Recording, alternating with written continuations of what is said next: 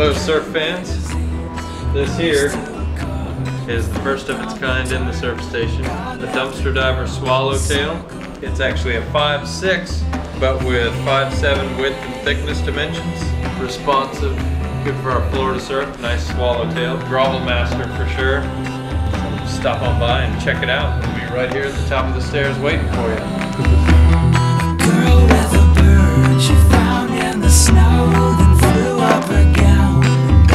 관심